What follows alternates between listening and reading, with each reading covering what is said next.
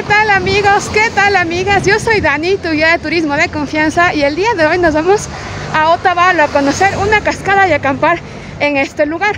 Primera parada tenemos que llegar al terminal de Carcelén al norte de la ciudad de Quito para coger un bus con dirección a Otavalo.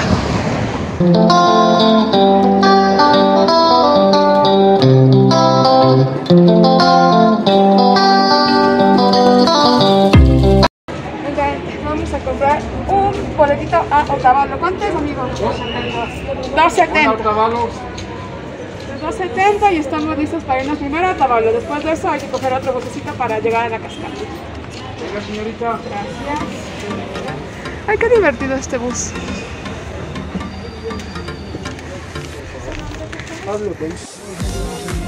Bueno, después de haber tratado de surcar la puerta con la mochilota, vamos a buscar a 134, veamos. Pipi, mochilota pasando.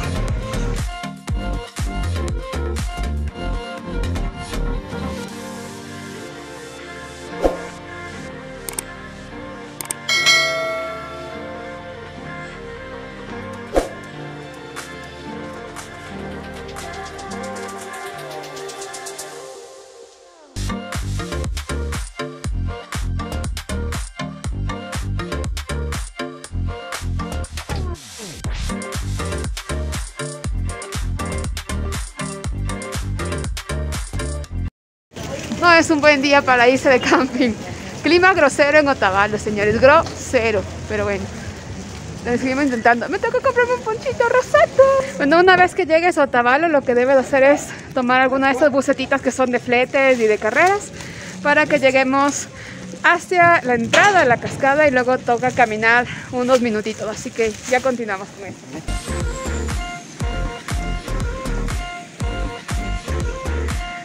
Las camionetas te van a traer hasta aquí y la cascada vas a ingresar por acá. Vamos a hacer una pequeña caminata para llegar hasta el lugar del camping.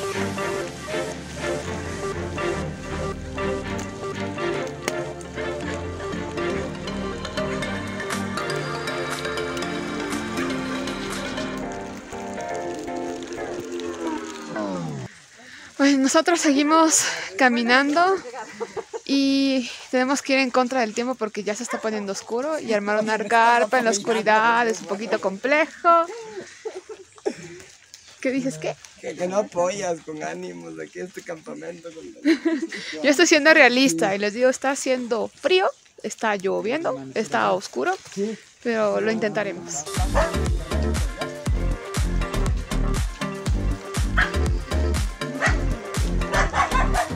Mira, ¿cómo se llama?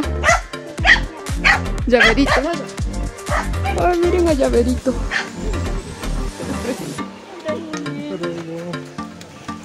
Qué bonito. ¿Cómo se llama? La caminata hasta la cascada dura aproximadamente 30 minutos. Te recomiendo que lleves ropa y zapatos cómodos, además de una ropa para el cambio.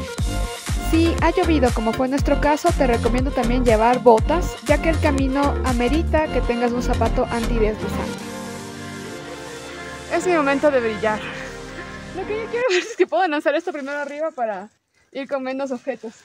Pablito, si crees que si te la... ¿Crees que lo alcances? Lolita. Yo no puedo porque no puedo agacharme. No, pero para que se avance un poquito ya, porque no sé si es que, realmente no sé si es que llegue a lanzarlo. O sea, porque, dale. dale. espérate, con la mochila no voy a poder. ¿En serio? Y así, como jugador de pelota americana. Ver, espérate. ¿Ustedes qué creen? ¿Lo logro? A ver, Lánzalo con fe. ya, uy, no sé. Esto está difícil, a ver.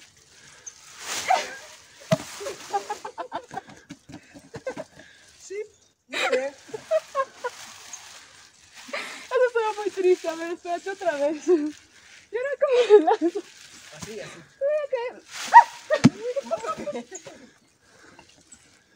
¿Sabes qué? Eso no va a ser. Esto va para el canal.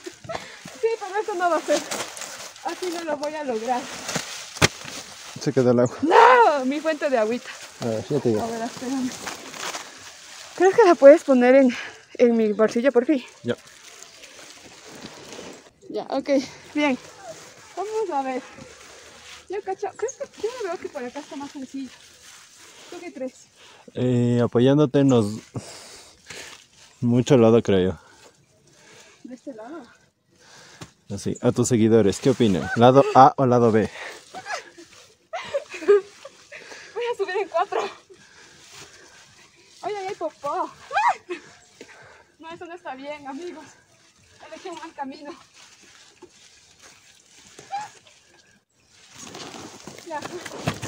Adiós, agua. Lo siento. Ya la cojo acá. Ay, Dios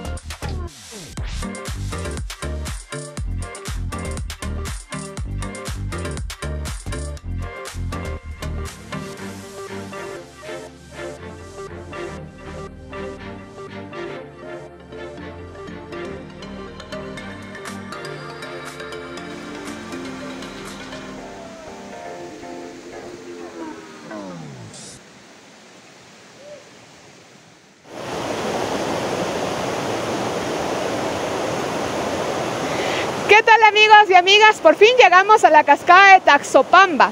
De hecho, la palabra Taxopamba es o proviene de dos vocablos quichuas. Taxo, que es una fruta tropical de los Andes.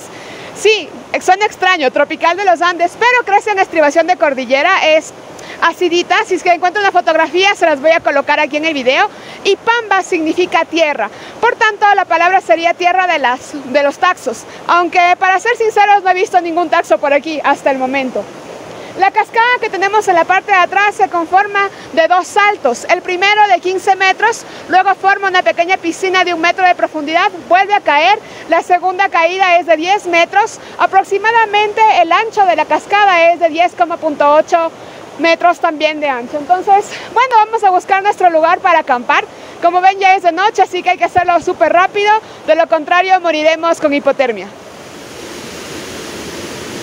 Bueno, esta es la zona del camping, entonces ahí está nuestro perrito que se nos coló en el ingreso a la cascada y nos ha acompañado, no sabemos ni cómo se llama, pero está precioso.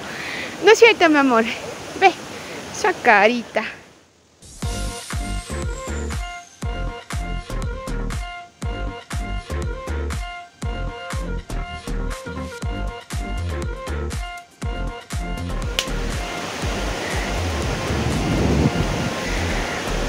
Bueno amigos, tenemos la primera carpa lista. Acá el compañero que ya se encargó de una forma salvaje de hacer fuego. Y estamos próximos a establecer las otras carpas para el resto de los integrantes. Y ella cuenta que, o sea, dice que en sus sueños veía a un viejito, anciano ahí, que ya está todo con el cabello súper blanco del color de la nieve y que él les, le cogía y que le decía que vamos. Le llevaba, le, le, porque le llevaba y todo a la chica.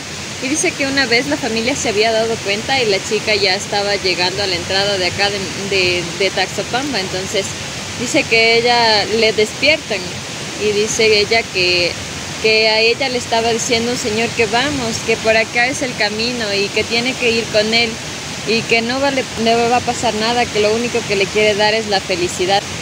Ahí la chica se despierta y se da cuenta de lo que le estaban le, estaban, le estaba trayendo la energía de la cascada. Entonces dice que le hicieron revisar con una de las brujas de aquí de y la señora dijo que casi eh, si no le hacían atender por, por una semana más la chica podía desaparecer, ya que cada vez que ella dormía soñaba con el señor y cada vez venía más abajo del agua, entonces ya era como que se la iba a llevar. Entonces dice que siempre, siempre, siempre hay que tener bastante cuidado cuando se sale de la cascada. O sea, es como que alguien de un espíritu fuerte tiene que ir nombrando a todos para que ningún alma se quede. y mañana recordarás todo este inmenso cielo azul que un día cobijó. Este amor, este amor que tienes aquí y te hará regresar al fin a tu lindo Ecuador, a tu lindo Ecuador, a tu lindo Ecuador.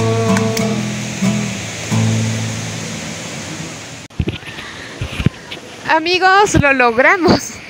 Pudimos sobrevivir al frío que experimentamos en nuestro camping, pero el día de hoy ya nos acompaña el solcito, así que probablemente disfrutemos de un momento en la cascada. Quiero comentarles también que este es un lugar bastante prístino, debido a que era una cascada virgen. Apenas hace tres años se la descubre y la gente empieza a llegar. Es por eso que si tú visitas el lugar, quiero pedirte de favor, muy especial, que toda la basura que traigas contigo se regrese contigo a la ciudad. Y que si puedes dejar limpiando alguna que otra basurilla que tú veas en el camino o en el lugar donde acampes, también lo hagas. Esto nos ayuda mucho a preservar lugares tan bonitos como este. Además de que obviamente el hacer este tipo de cosas habla bien de ti presenciaremos otros usos de la mascarilla, colando café en tiempos de pandemia. Pablito, te habían dicho que la mascarilla es antifluidos, impermeable. No sé si te habían comentado aquello. Compañeros, está pasando. No, mi madre, Como ven, ay, Pablito no sabía. No funcionó. Qué pena, Pablito. Qué triste tu caso. Estas mascarillas que decían que no valían, que así funcionan. Era solo una prueba. Prueba 2.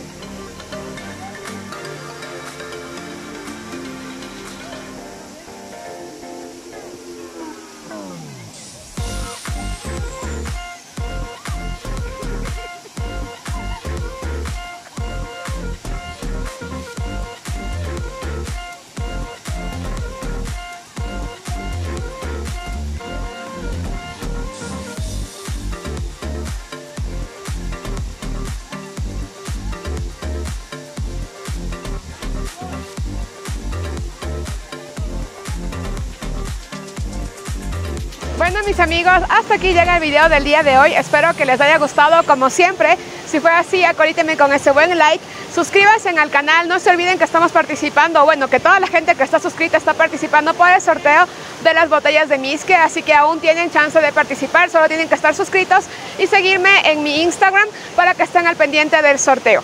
Sin nada más que agregar, señores, señoritas, nos vemos en su siguiente video. Bye.